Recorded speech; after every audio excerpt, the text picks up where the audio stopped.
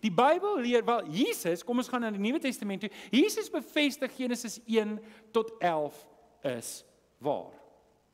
En hoe doen hy dit? Hy haal dit aan. Maar Markus 10 vers 6 is Jesus se eie woorde hy haal aan, maar van die begin af, van die skepping af, het God hulle man en vrou gemaak. Nou Adam en Eva is in die Hebreëus ook maar net man en vrou, man en manin as jy wil. So Jesus haal daai vers, Markus 10 vers 6, Jesus haal Genesis aan soos in woord vir woord net in Grieks.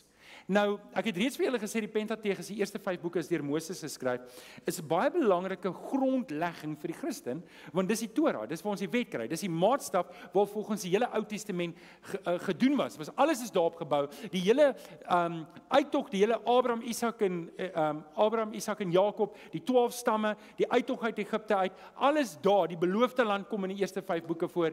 En so dit maak 'n belangrike deel ook van ons Christelike geloof uit waarvan ons nie kan loskom nie. Nou, Jesus bevestig bevestig ek kan nou sê die Pentateeg, maar ten minste Genesis 1 wat die skepingsverhaal is as waar.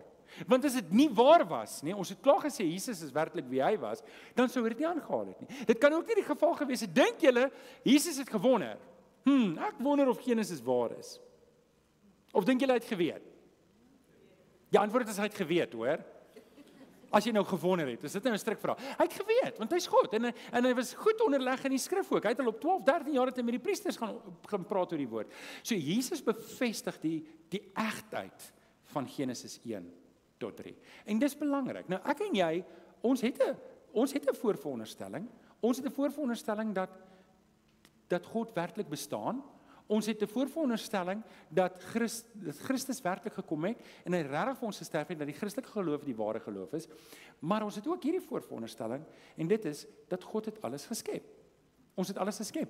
Jesus bevestig dit in die vers, soos God in die begin die man en die vrou geskep het. So Jesus bevestig dit wat God gedoen het as waar.